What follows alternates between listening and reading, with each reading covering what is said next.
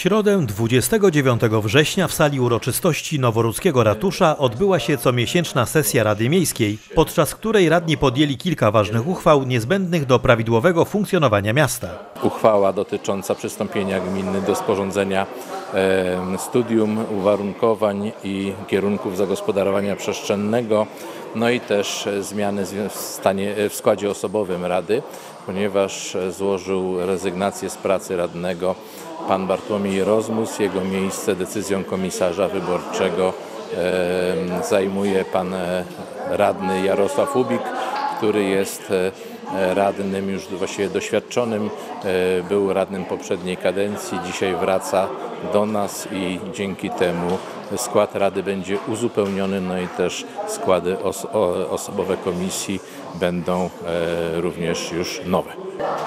Jest kilka oczywiście tematów. Tradycyjnie zmiany w budżecie gminy. Zbliżamy się powoli do końca roku. Kończymy realizację różnych zadań, inwestycji.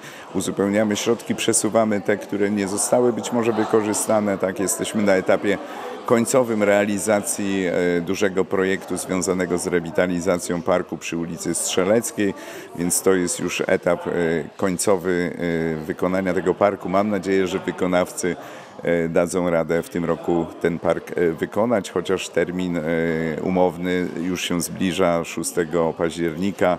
W tym terminie obawiam się, że nie zdążą, ale myślę, że troszeczkę później wykonają nam ten park.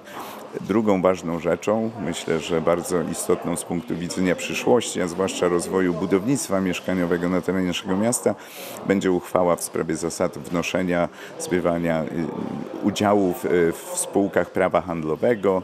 Y, Uchwała ta jest niezbędna, ponieważ w najbliższy piątek, 1 października, będę podpisywał wspólnie z kilka, kilkunastoma innymi gminami akt notarialny założenia spółki, spółki SIM Sudety, spółki, która będzie zajmować się e, budownictwem mieszkaniowym wielorodzinnym e, na terenie tych gmin, które do tej spółki przystępują. W przypadku naszego miasta jest to e, teren osiedla 30-lecia, gdzie e, właśnie ta spółka, którą wspólnie zakładamy, będzie budowała budynek wielorodzinny. Na początek będą to 32 nowe mieszkania. Wnosimy do tej spółki wkład pieniężny w postaci e, 3 milionów złotych, które otrzymaliśmy w dotacji z Banku Gospodarstwa Krajowego i e, spółka rozpoczyna swoją działalność i przygotowanie do realizacji właśnie tej inwestycji. Interpelacje i zapytania radnych zakończyły wrześniową sesję Rady Miejskiej w Nowej Rudzie.